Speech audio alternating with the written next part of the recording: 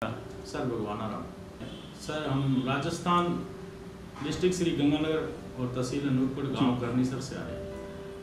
बच्ची है सर मेरी ये दस साल की। इसको सर सुनाई नहीं दे पा रहा है। इसकी वजह से वो बोल नहीं पा रही। सर मैंने हिसार भी गया हूँ गंगानगर भी गया हूँ और अपने जयपुर भी गया हूँ। मशीनें तक भी लगाई हैं इसको सुनने के लिए। बड़ा ट्राई किया सर। डॉक्टर ने यही बोला है कि इसके पर्दे वगैरह तो सही हैं लेकिन इसकी आगे वाली नसें होती ना बिल्कुल बारीक नसें वो कमज़ोर हैं। ठीक है। इसकी वजह से नहीं। यूट्यूब के द्वारा मैंने सर्च किया था। अच्छा महसूस कर रहे हैं सर।